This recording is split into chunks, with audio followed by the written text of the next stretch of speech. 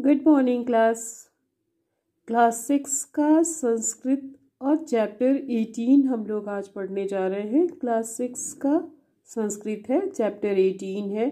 इससे पहले seventeen chapter का हम आप लोगों को पीडीएफ भेज चुके हैं। वो पीडीएफ उम्मीद है कि आप लोग कर लिए होंगे। यहाँ पे देखिए सुभाषितानी ये चैप्टर हम लोग को पढ़ना है। इसमें हमारे श्लोक दिए हुए हैं। इन श्लोकों को हम लोगों को पढ़ना है। कुछ कुछ करके श्लोक हमारे वीडियो के माध्यम से आप तक जाएँगे, उसको ध्यान से देखिएगा और समझिएगा। इन श्लोकों का हिंदी तो इसमें दिया हुआ है, पर फिर भी मैं एक बार आपको समझा दूँगी, इसे ध्यान से देखिए। पहला नंबर है, उदेति सविता ताम्र, एवास्तमेति च, संपत्तौ च विपत्तौ, च महता मेक रूपता यानी उदेति सविता ताम्र एवास्तमेति च। उदित यानी उगता हुआ सविता ताम्र। यानी सूर्य जो है, जब उगता है तो वह ताम्र वर्ण का होता है। ताम्र वर्ण का दिखाई देता है। और जब वह एवास्त, अस्त होता है, तब भी वह ताम्र वर्ण का ही दिखाई देता है। यानी दोनों ही कंडीशन में, दोनों ही समय जब वह उगता है, तब और जब वह अस्त होता है, तब वह ताम्र वर्ण का ही दिखता है। यानी एक जैसा दिखाई देता है। लेकिन संपत्तौ च, विपत्तौ च महताम एक रूपतम लेकिन संपत्ति और विपत्ति दोनों ही परिस्थितियों में, यानी कोई अच्छे समय हो या फिर बुरे समय हो तो जो महान लोग भी होते हैं, वह सेम ही अपने आप को दर्शाते हैं, ना कि वह किसी भी प्रकार से अलग करने की कोशिश करते हैं, बल्कि वह, चाहे वह मुश्किल में हो, चाहे वह सही हो, हर परिस्थितियों में एक जैसा ही दिखाई देते हैं, उनका व्यवहार एक जैसा ही होता है। सेकंड है आपका पुस्तक स्थातु या विद्या पर हस्तगतम धनम, कार्यकाले समुत्पन्ने न सा विद्या न तद्धनम।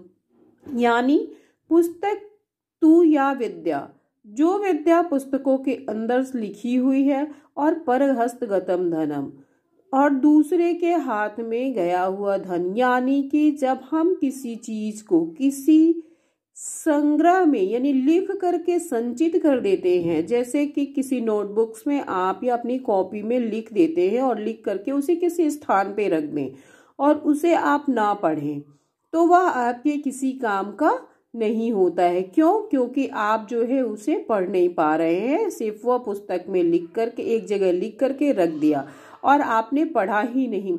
ठीक वैसे ही दूसरे के हाथ में यदि आपका स्वयं गया हुआ, आपका खुद का कमाया हुआ धन दूसरे के हाथ में चला जाता है तो कार्यकाले समुत्पन्न नासा विद्या नाता धनम। यानी समय आने पे अवसर आ गया और वह व्यक्ति आपको आपका धन वापस नहीं करता है तो ना ही वह धन आपका है और ना ही वह विद्या जिसको आपने लिख करके एक जगह संग्रहित करके रख दिया, जिससे आपने पढ़ा ही नहीं, ना वह विद्या आपकी है। तो पूरा सार क्या है कि पुस्तक स्थातु या विद्या पर हस्तगतम धनम, कार्यकाले समुत्पन्ने न स विद्या न धनम। समय आने पे यदि आपने अपने धन को किसी दूसरे को दिया है तो ना वह धन आपका है और ना ही वह विद्या जिसे आपने लिख करके संचित कर दी है, आपने उसे देखा ही नहीं, ना वह विद्या आपके काम आती है। ये दो श्लोक आपका हो गया और तीसरा श्लोक जो है वह मैं पढ़ने जा रही हूँ, उसे ध्यान से सुनिए। ये है आपका थर्ड नंबर का वृत्यम यत्नीत संरक्षेद वित्तमायाति याति च अछीड़ो वित्त तीड़ो वित्तस्तु, हतो हत कह रहा वृत्तम यत्नेत संरक्षित वृत्त और वित्त, दो चीज़ है। वृत्त का मतलब हो गया आपका चरित्र वित्त का मतलब हो गया धन, यानी वृत्त और वित्त दोनों अलग अलग वर्ड हैं। वृत्त यत्नेत रक्षित, चरित्र की रक्षा हमें बहुत ही धैर्य के साथ करनी चाहिए। वित्तम यात याति चो, यानी धन तो आता और जाता रहता है, लेकिन अछीड़ो वित्त तो चीड़ो वृत्त हस्तु हतो हत जब धन आता जाता रहता है तो हम अगर वह छीड़ भी हो सकता है, वो नष्ट भी हो जाता है तो हम उसे पुनः कमा सकते हैं, पुनः वापस ला सकते हैं। लेकिन एक बार हमारी चरित्र यदि नष्ट हो जाते हैं, हमारे चरित्र पे किसी प्रकार का दाग लग जाता है तो उसे हम पुनः कमाने में असमर्थ हो जाते हैं। इसलिए बड़े ही यत्न के साथ हमें अपने चरित्र की रक्षा करनी चाहिए। थर्ड नंबर आपका हो गया फ़र्स्ट सेकंड और थर्ड तीन श्लोक आपका हो गया। फोर्थ नंबर आपका जो है वो इस प्रकार है। फोर्थ नंबर आपका यत यत परवसम कर्मम तत तत यत्न वर्जते। यत यत परवसम यानी जो जो कार्य दूसरों के बस में होता है, तत् तत् यत्न वर्जते। उस कार्य को आप उसके ऊपर छोड़ दीजिए, क्योंकि उस पर आपका अधिकार कम है। जो जो दूसरे के अधीन है, उसका जो है अधिकार आपको कम है। यत यत आत्मवसंतु स्यात तत्त सेवते यत्न। और जो जो आपके वश में है, जिस जिस कार्य को आप स्वयं कर सकते हैं, उस उस कार्य में कभी भी हमें आलस नहीं करनी चाहिए। उस उस कार्य को हमें बड़े ही यत्न पूर्वक करना चाहिए। उदाहरण कैसे? जैसे आप इस समय क्लास में प्रेजेंट नहीं है, और जब आप क्लास में प्रेजेंट नहीं है तो मैं जब तक आपको ये पढ़ाऊँगी नहीं, तब तक आपके पास ये जाएगा नहीं। आप इसको समझेंगे नहीं। लेकिन जो हमने आपको भेज दिया है, जो आप पढ़ चुके हैं, उसको आप उतने ही तल्लीनता के साथ पढ़िए, क्योंकि उस पर आपका पूरा वश है। तो कह रहा है कि जो जो कार्य जो है दूसरे के अधीन है, दूसरे के वश में है, दूसरे पर निर्भर है, उसे आप उतने ही समय के लिए छोड़ दीजिए, लेकिन जो आप कर सकते हैं, उस कार्य को आप समय अनुकूल कीजिए।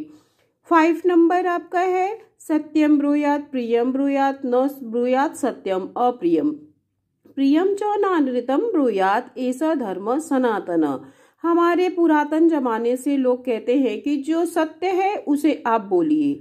और झूठ आप कभी मत बोलिए। लेकिन ऐसा सत्य, कह रहा सत्यम ब्रुयात प्रियम ब्रुत जो अच्छा है, उसे भी बोलिए। जो सही है, उसे भी बोलिए। न ब्रुयात सत्यम प्रियम। लेकिन कई बार ऐसा सत्य जो अप्रिय लगने वाला है, यानी न ब्रुयात सत्यम अप्रियम। जो ऐसा सत्य है, जो अप्रिय लगने वाला है, उसे आपको वर्जित करना चाहिए, उसे आपको नहीं बोलना चाहिए।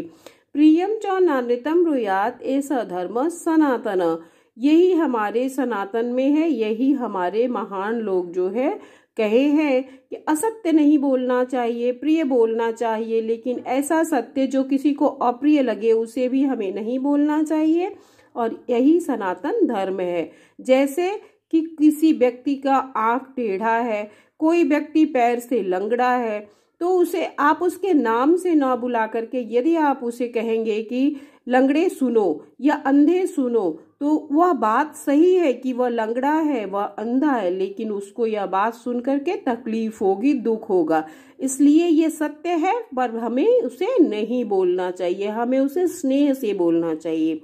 तो सत्यम ब्रुयात, प्रियम ब्रुयात, न ब्रुयात, सत्यम अप्रियम। जो ऐसा सत्य है जो प्रिय भी है, फिर भी हमें उस सत्य को नहीं बोलना चाहिए, यही हमारा सनातन धर्म है।